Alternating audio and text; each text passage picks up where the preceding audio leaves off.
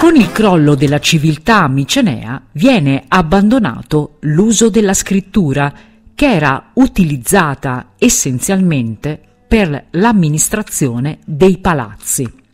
Dopo il loro crollo non aveva ormai alcuna utilità pratica per gli abitanti delle piccole comunità urbane e rurali che subentrano al regno miceneo in questo periodo.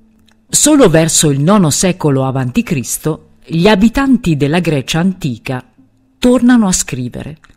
Essi adottano l'alfabeto fenicio, adattandolo al proprio sistema fonetico.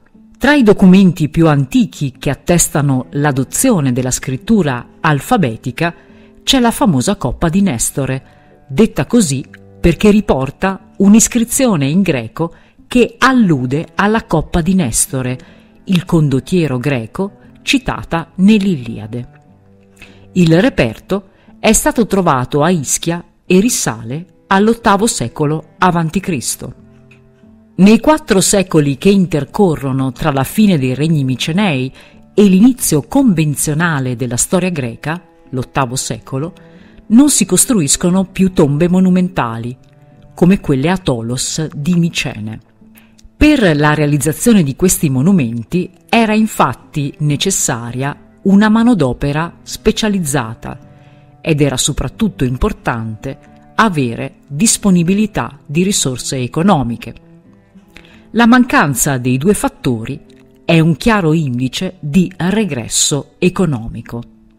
Inoltre, il numero ridotto delle sepolture rivela che in questo periodo si verificò un notevole decremento demografico. E a proposito di tombe, un cambiamento significativo rispetto all'età micenea è il tipo di sepoltura. Dall'inumazione, cioè la sepoltura della salma, si passa all'incinerazione. Il cadavere viene bruciato e le ceneri vengono raccolte in un'urna che viene poi interrata in un'area apposita, assieme ad altre sepolture.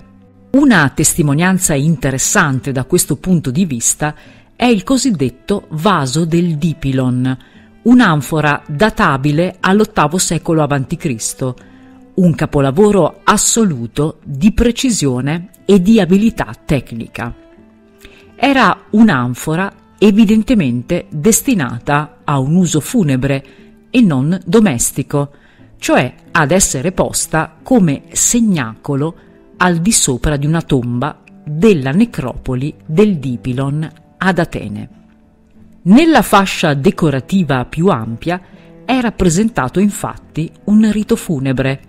La defunta è una donna, come si deduce dalla resa schematica dell'abito femminile è distesa su un letto funebre, dietro alla quale è raffigurata schematicamente la pira di legno su cui erano cremati i corpi.